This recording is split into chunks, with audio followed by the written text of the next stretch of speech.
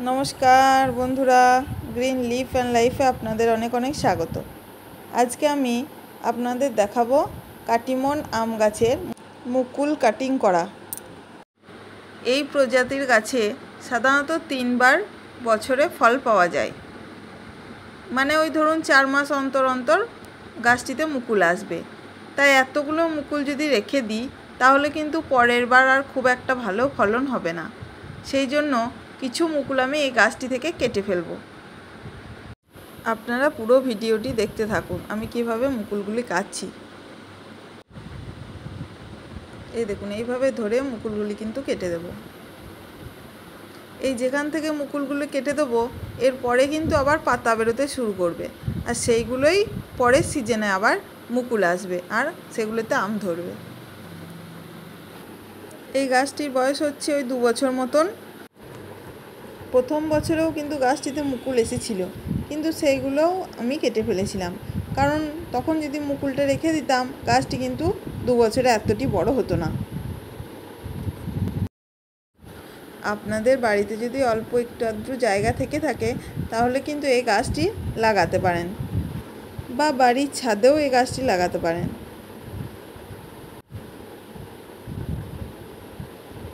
এই আমগুলি কিন্তু খেতে খুব মিষ্টি হয়। এই দেখুন, আমি কেটে ফেলেছি মুকুল।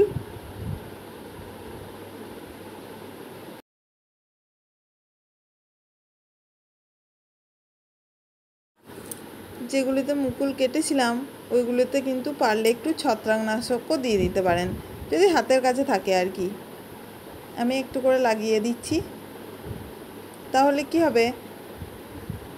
ওই জায়গাটিতে কোনো রকম ছত্রাকের সংক্রমণ ঘটবে না। দাঁড়ান, একটু ভালো করে এটা লাগিয়ে দিই। যে ডালগুলোতে কেটে সবগুলোতেই কিন্তু আমি এই ছত্রাকনাশক লাগিয়ে দেব।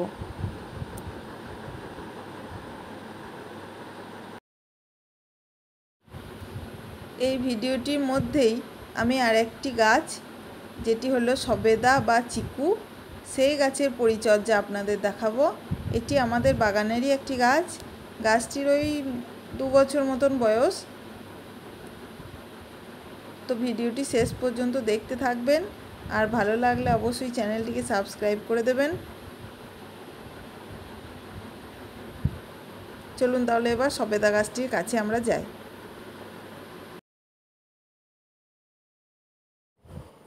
এই দেখুন, এটি হচ্ছে একটি সবেদা গাছ।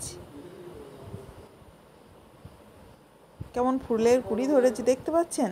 এগুলি থেকেই কিন্তু সবেদা হবে।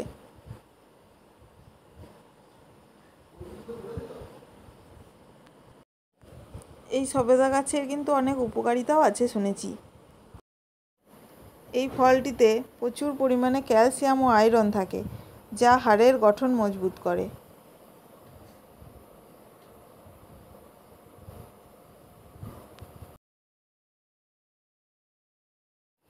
আমার নিজের কিন্তু এই ফলটি খেতে খুবই ভালো লাগে। এই দেখুন কাছে থেকে একটু দেখায়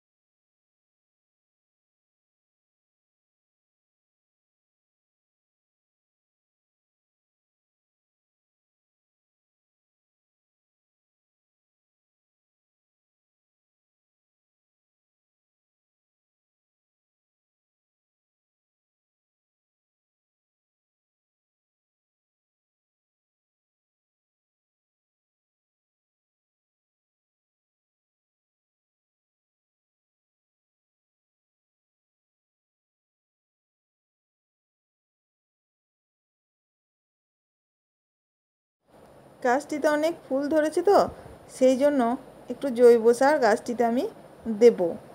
তাই সারের কাছে চলে এসেছি।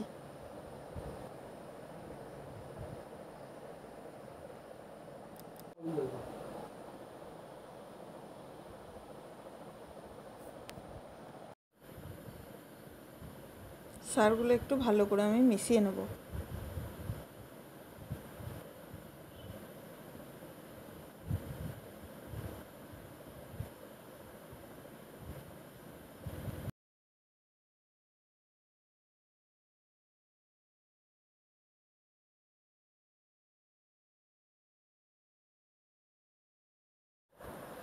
সারগুলো কিন্তু একটু শুকনো শুকনো হলে ভালো হয়।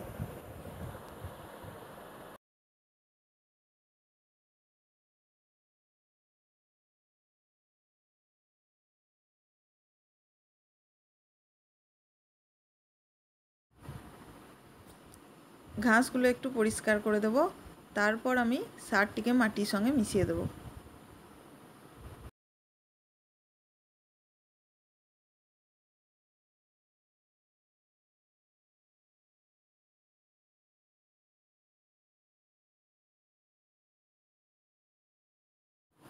মাটির সঙ্গে কিন্তু সারটিকে সুন্দরভাবে মিশিয়ে দিতে হবে।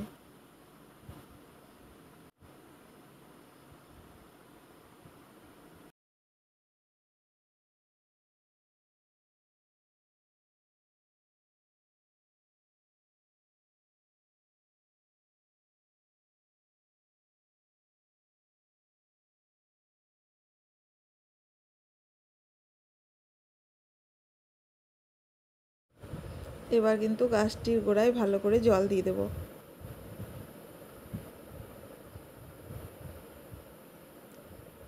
অল্প অল্প করে জল পাতার ওপরে দিয়ে দেব।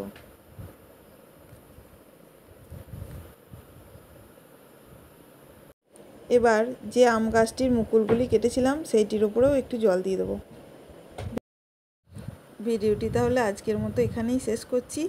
ভালো থাকবেন সকলে। ধন্যবাদ।